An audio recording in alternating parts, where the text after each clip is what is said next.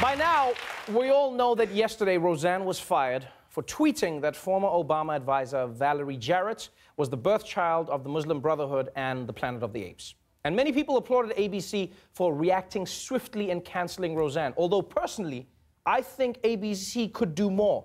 I think they should go one step further and reboot Family Matters with a super woke Steve Urkel. Yeah. Like, did I do that? Or was it the oppressive socioeconomic system that sees black men as a menace? Mm-hmm. Just my idea.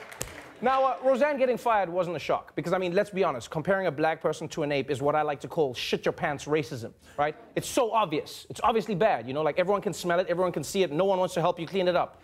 Even the anti PC brigade agreed Roseanne had gone too far. Roseanne Barr made some really incendiary, pretty appalling comments on Twitter. After I saw this tweet this morning, Dan, I'll be honest, I, it shocked me. We can't defend her. Right. It was unacceptable. It was mean spirited. The Planet of the Apes was so over the line. There was no getting yeah. away from that. The Muslim Brotherhood, that gets kicked around. But when you combine that with the Planet of the Apes, it's just so toxic. It's just, uh, you can't really ever come back. Yeah. Wow, that's an interesting angle. Uh...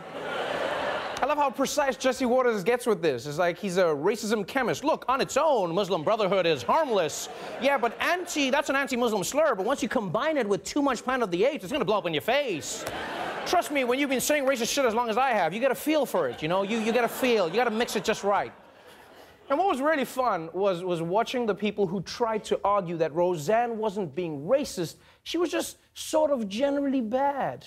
We live in a, a, a, politically correct world right now. We live in a world where it's just not, it's just plain not nice. It's not nice to it's say not about this. political correctness, well, it, it, it, it's racism. Well, Let her finish. Let's just look at what this was and what she said. The, the tweet was, was not nice. It was ugly. It was demeaning. It was gross. And let's just leave it at that. Why? It, was Why leave it at that? Just, yeah, why? Why leave it at that? Let's just leave it at that. I want that lady to defend me in court. Murder is such a harsh word. Can't we all agree to call it making someone go bye-bye? Huh? This is such a PC world where no one wants to die anymore, huh? And seriously, I'm impressed by all of this. It takes a lot of mental strength to say that calling a black woman an ape isn't racist. Not everyone can pull it off. Do you think Roseanne's a racist? I don't think so, no. I've seen her show many times when she was in her previous show. I don't think she's a racist. I think she made some comments that she didn't think about that would come across as sounding racist, and indeed they were. well, this is this is magic. It's like his conservative side and his black side were fighting it out in his head, and his black side won at the last minute. She made some comments that might sound racist because that shit was racist. Whoa, whoa, whoa, whoa, whoa, whoa, whoa, whoa, whoa, whoa. Now, uh, after this, Roseanne apologized on Twitter and said that the reason she tweeted those racist things was because she was on Ambien and it was Memorial Day. And you know how Memorial Day gets people, nigga. And in Roseanne's defense, tweeting stuff uh, that is racist while you're on Ambien, I do understand. Because if you listen carefully to their ads, there is a subtle warning about just this thing.